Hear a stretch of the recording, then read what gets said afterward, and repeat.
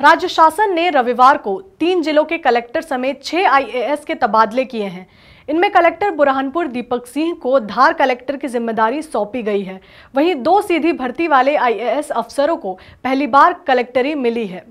इस आदेश में खाद्य विभाग के आयुक्त विवेक पोरवाल को ट्राइफेक और एमपी एसआईडीसी की ज़िम्मेदारी सौंपी गई है। कलेक्टर गुना राजेश को जीएडी में अपर सचिव बनाया गया है। कलेक्टर धार श्रीमन शुक्ला को संचालक खाद्य और नागरिक आपूर्ति तथा कलेक्टर बुरहानपुर दीपक सिंह को कलेक्टर धार की नई ज़िम्मेदारी सौंपी गई है। एकेवीएन ग्वालियर के एमडी सत्येंद्र सिंह को कलेक्टर बुरहानपुर बनाया गया है। मंत्रालय में पदस्थ 2011 बैच के आईएएस बी विजय दत्ता को कलेक्टर गुना बनाया गया है।